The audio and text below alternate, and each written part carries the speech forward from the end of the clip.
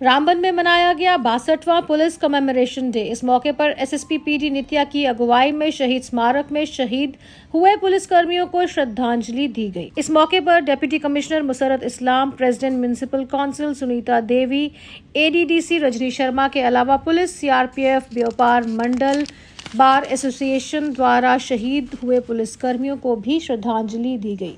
आपको बता दें कि 21 अक्टूबर को सन उन्नीस में चाइना द्वारा मारे गए पुलिसकर्मियों को याद किया जाता है।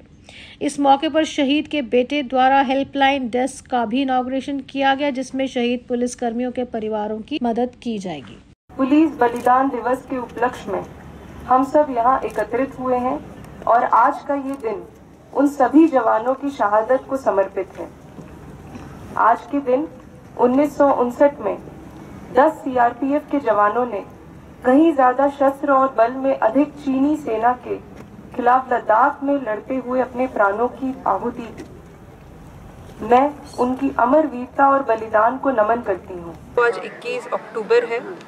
Twenty first October police commemoration day के रूप में मनाया जाता है। तो हर साल की तरह इस साल भी डिस्ट्रिक्ट रामबन में हमने आज पुलिस कमेमोरेशन डे मनाया है। इस दिन हमने सारे उन शहीदों को याद किया है, उनके नाम लिए हैं और जो हमारे डिस्ट्रिक्ट के 49 मार्टियर्स हैं, उनकी फैमिलीज़ को हमने स्पेशल इनविटेशन भी दिया है कि वो इस फ़ंक्शन में शिरकत लाएँ। उसके अलावा जितने हमारे रिटायर्ड पुलिस पर्सन पर्सनल्स हैं जो एक्स आर्मी सर्विसमैन हैं सीआरपीएफ के हैं, दूसरे जवान हैं और रामबन की आम आवाम, उन्हें भी यहाँ पे निमंत्रण दिया गया है कि वो इस प्रोग्राम वो इस कमेमोरेशन डे के फ़ंक्शन के लिए आए। हमने ये फ़ंक्शन करने के बाद एक पुलिस फैमिलीज़ हेल्प डेस्क का एक इनाग्रेशन किया है। ये एक कंसेप्ट है जिसको डिस्ट्रिक्ट पुलिस रामबन ने सोचा और इसको तैयार किया। डेस्क के माध्यम से हम वो दूर करना चाहते हैं, वो हम एक फैसिलिटेट करना चाहते हैं।